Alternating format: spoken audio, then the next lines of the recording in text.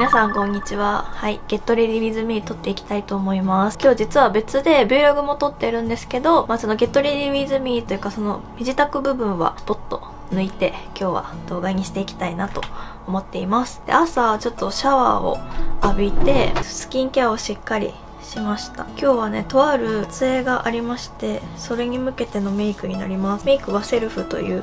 ことでヘアもねセルフになるんですけどまあいつもとそんなに変わらない雰囲気でいきたいなと思っています。でコンタクトは、えー、先日の購入品でご紹介したエバーカラーワンデーナチュラルの、えーと、チークプルームというカラーをつけてます。なんかカラーがちょっとメイクしながら準備しながら雑談しながらちょっと最近のこととかもいろいろお話できたらいいなと思っております。ではメイク始めます。でまずちょっと先にこのミノンのアミノモイストアミノフルシャワーのミスト化粧水をちょっとさーっと吹きかけます。なんか最近季節のこう変わり目？私は花粉症ではないんですけど、まあ、花粉とかいろいろこう外的刺激がすごいいろいろある時期だからか結構鼻とかここら辺がちょっとざらつきがちなのでしっかり保湿するのとなんか洗顔とかも高速系を結構がっつり使って 最近洗顔してます。で今日は下地これにしようと思います。えー、もう定番です。ラロッシュポゼ UV レアプロテクショントワンプローズです。なんかアリーの方も全然使うし本当日によってこうなんか肌のコンディションとか仕上がりたい感じによって分けるんですけど今日はこっちでいきたいなと思います。なんか大事な撮影にはなるのでこの使ってる歴が少し長い方を買います。で今ねネイルもあの本当はジェルネイル行きたいなとは思ってたんですけど出る時間がなかったのでセルフでネイルしちゃいました。でもなんかセルフでも十分ねこの色味とかも可愛いからもうなんかジェル行こうかなって思ってたんですけど緊急事態宣言もね開けたのででもなんか悩んじゃってます。はい。こんな感じで目の上もこうのせて広げたらちょっとスポンジを濡らしてきます。スポンジをこちらね100均のものなんですけども濡らしてきます。なんか最近はこっちの形が好きでこっちの形をよく使ってます。ファンデーションはこちら RMK のクリーミーファンデーション使います。もうだいぶないですね。使ってる感がめちゃくちゃ出てるからちょっとこの春を終えたら使い切るかわかんないんですけどちょっと処分はしようかなと考えてます。スパチュラがこの間出てきての RMK のなのでこのスパチュラで取ってここにのせてこう顔にちょっと広げます。ちょんちょんと。この間コスメの勉強をしたいなと思って勉強会にちょっと参加したんですけどその時にできればスパチュラ使ってほしいって先生が言ってて今は特にこうウイルスとかこの中に入るかわかんないですけど雑菌とかそういうのは肌荒れの原因になるからできるだけこうスパチュラとかで取って手からねいろいろこう菌が入ることもあるから気をつけた方がいいよって教えていただいてあちゃんとスパチュラ使おうって思ってちょうど出てきたので最近はスパチュラを使っています。このねスポンジ濡れてるので余分なファンデーションはつかないように広げていきます。もう薄く薄く。でも大事な時は、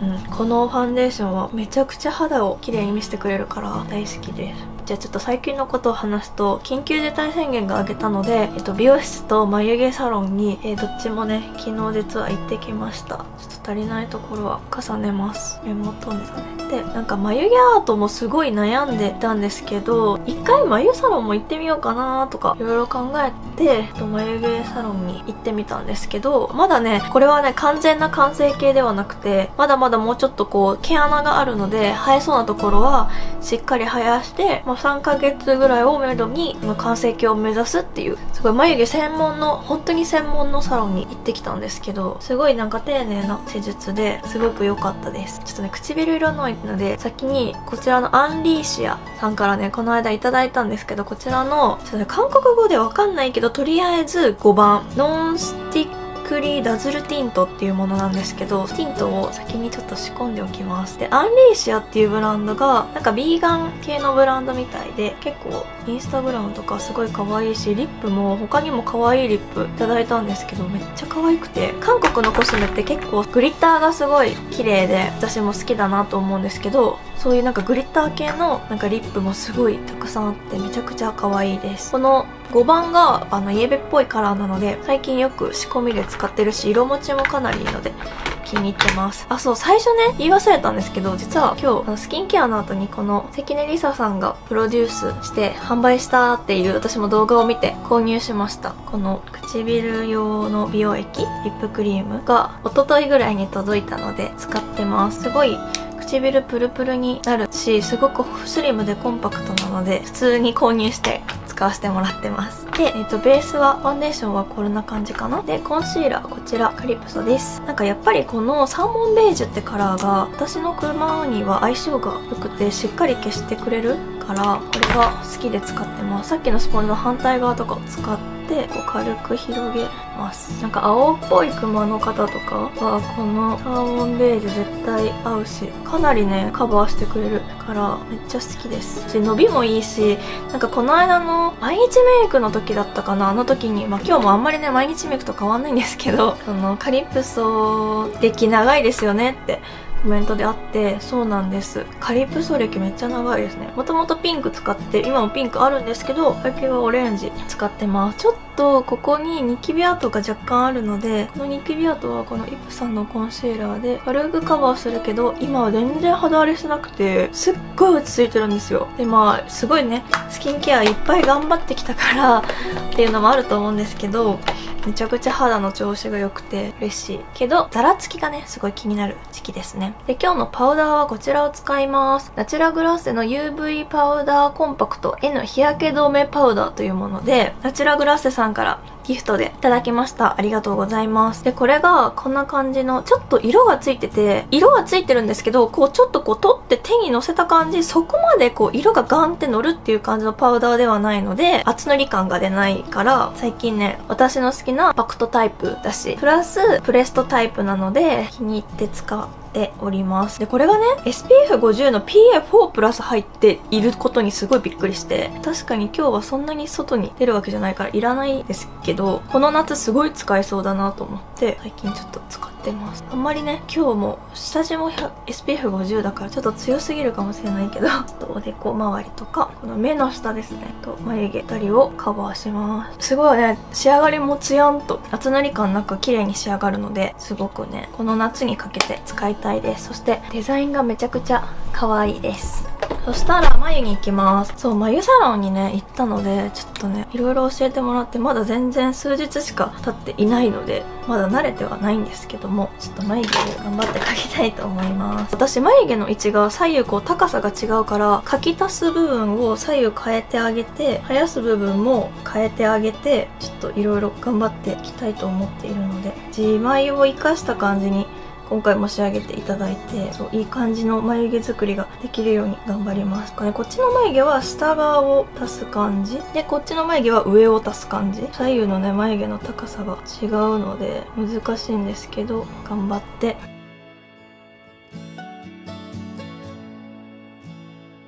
はい眉毛が完成しました。ちょっとまだまだ下手くそなんですけどもちょっと太眉ナチュラルな感じにして眉カラーもしてもらったので今回はアイブロウカラーはせずに今日は行きたいと思います。ちょっとこの眉頭をもうちょっと描き足した方がいいここら辺もまだこれから生えてくるみたいなので生えてくることを祈りながらバランスをもっと整えられたらいいなと思ってます。そのままここにちょっと軽くノーズシャドウ入れて鼻先鼻の下入れます。ハイライト今日は3使います。3のこのパレットのこの部分を取ってこの鼻の部分。なんか昨日久々にこれ使ったらやっぱりこれ綺麗だなと思ってこれを今日も使います。で C ゾーンとかにも気に仕込んどきます。で唇の上で顎はほんのちょっとです。といきます。アイシャドウはこちら、ロムのベターザンアイズドライマンゴーチューリップを使います。このもうザ・イエベカラーですね。これを使います。で、まず、こことここを混ぜて、アイホール全体にね、広げちゃいます。で、これはブラシでやります。もうこのね、アイシャドウを使えば、もう、パーソナルカラーにはバッチリだし自分に似合うメイクができるのでこれを使っていきます。もうねここぞという時はもう私は絶対にイエベカラーにするので今日もザ・イエベな感じでいきます。ちょっとなんかこれにラメがついててラメが散らばるで反対側ものせます。でも今日は多分光とかで飛んじゃうかもしれないので結構しっかりめに色ものせます。こっちも。イエベ感強く。眉毛やっぱ難しいな。眉マスカラした方がいいのか。眉マスカラいらないですって言われたけどなんか気になるからしちゃおうかな。軽く塩急にするスタイル。上まぶたと下まぶたここにこれ入れます。まず上まぶた。際に入れて目を閉めます。ちょっと指でぼかします。今日は結構しっかりメイクにしていきます。で下のここにもねしっかり入れます。もう黒目の真ん中ぐらいからグイッとなんか今日の撮影もすごく楽しみなんですけどいろいろなことを報告できる1年になったらいいなと思っていろいろ進めてるんですがたくさんいろんな報告したいな。でグリッターの部分を筆で取って涙袋に入れます。でもなんか眉毛すごい変えただけでめっちゃ顔の印象変わるなって思いました。私なんか眉毛サロンの人がいい人すぎてもうなんかずっと喋っちゃった。であと髪の毛もね実はちょっと染めたので後で説明します。で涙袋こんな感じで入れます。しっかりね入れてく。後でまた直すとは思うんですけどしっかり入れて上まぶたにも入れます。まず真ん中にちょんって置くけど私はちょっと左右に広げて上まぶた全体がちょっとキラッと輝く感じに仕上げます。反対もこの上まぶたの真ん中寄せて左右に広げます。ね今めっちゃ本当に肌の調子が良くてめっちゃ嬉しい。よかったニキビもね何もなくて。はいこんな感じでそのまま目元をちょっと軽くビューラーします。資生堂のビューラー変わらず使ってます。でもパリジェンヌも行ったのでかけたばっかりっちゃかけたばっかりなんですけど。はい。こんな感じでまつげをしっかりこう立ち上げたらはいこちらのヒロインメイク。今日はブラウンカラー塗ります。いつもと同じですね。今日はボリュームではなくロングでいきたいと思います。これをまつげに塗ります。でこの際にしっかり入れてまるでアイラインが引いてるかのようにしっかり根元から色をのせます。パリジェンヌがめちゃくちゃいい感じで最高です。はいまつげしっかりね拭けます。なんかこっち側の目の目頭がいつもなんか下がりがちなのでしっかりこうくるっと乗せときます。なんか喋るの忘れちゃってたけど髪の毛も、染めてきましたし切ったの分かりますかね？結構切りました。から、まあ、5センチは言い過ぎだけど3センチちょっとぐらいは切ったのでまたすごい印象がまた変わるんじゃないかなと思います。でもなんか今年1回も縛れないぐらいに切りたいかもってちょっと思ったりしててなんかロング派の方っていうのかな？ロングの時の懐かしいですとかロングの私が好きだったっていうお声も結構いただくんですけどまたちょっと伸ばそうかなとは思いつつも今回もまた切ってしまって。なんか楽なんですよね本当に。私は縛れるぐらいでっていうのはマストで絶対言っててなんか中途半端は嫌なので絶対に縛れるけど短いギリギリのラインで今は切ってもらいました。昨日ね行ったばっかりなのでもう夜行ったのでそのまま髪の毛洗わないでって言ってそのままなんですけどこんな感じでちょっとピンク系のカラーちょっとねここだと赤っぽく見えちゃうかもしれない。オレンジっぽい感じ。けどちょっと外で見ると少しピンクっぽい雰囲気のあるようなカラーに見えると思います。アイラインはいつも通りのラブライナーでで目頭側と目尻の方もしっかり今日は引いていきます。でもほぼいつも通りのメイクかな。ちょっと濃いかな。最近は、まあ、緊急事態宣言が解除されたというもののあんまり外には出てなくてなんかあんまりちょっとここ数日体調が悪い日もあったりして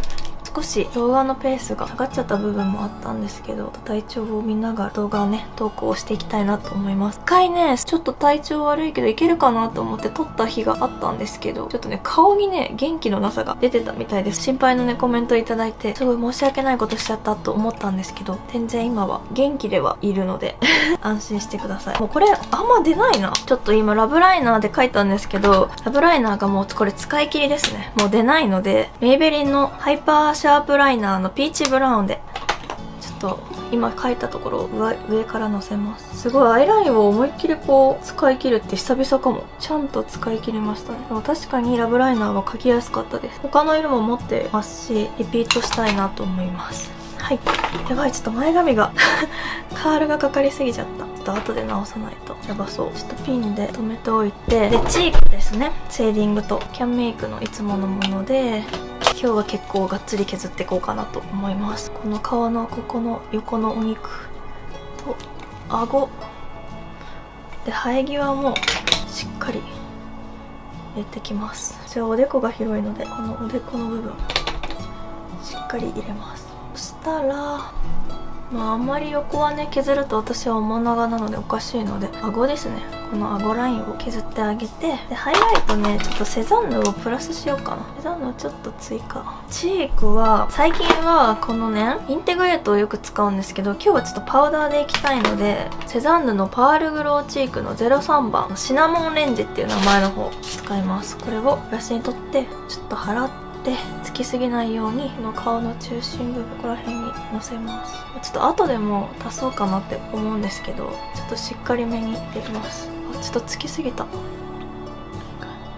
っとうまく調整して。はいこんな感じでメイクが完成しました。ちょっとね後でリップは塗ろうと思うのでとりあえずヘアセットに描きます。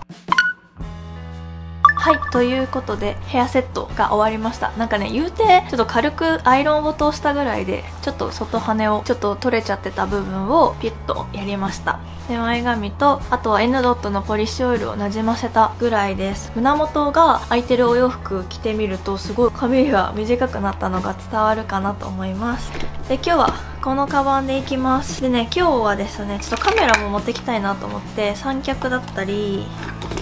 この小さい方のカメラだったりを入れました。でこのポーチの中にさっき使ったこのアイシャドウとチーク一応これねインテグレートのすっぴんメーカーのチークリップも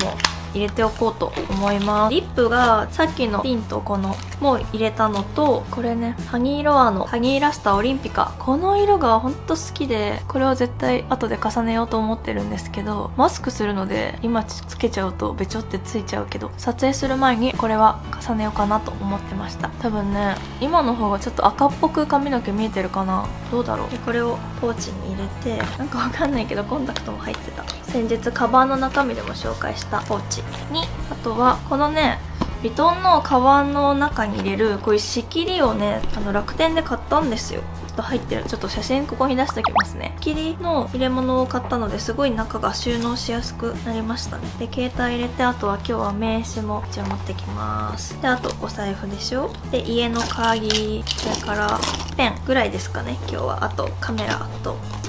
を入れていきます。よしちょっとカメラが入ってるから重いんですけどこんな感じで今日は行きたいと思います。ちなみにお洋服ちょっと後で全身お見せしようと思うんですけど今日は上下とも自由です。このトップスに GU のパンツ